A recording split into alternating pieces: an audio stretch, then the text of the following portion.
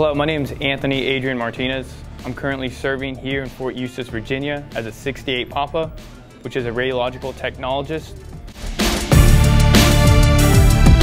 I just wanted to join the military because it was for family tradition. My father has served and retired. My brother served the United States Marine Corps.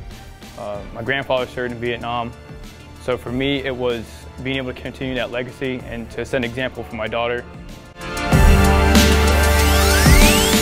I want to continue serving the military because the job that I do does make an impact in people's lives. Uh, people come to the hospital because one, they're not feeling good. Um, they're wanting to seek help. So for me to be able to provide that help for somebody, it, it does make a big boost in my day as well as that of the patients. Whether it be someone that's you know still in the uniform, a retiree, or a child of theirs.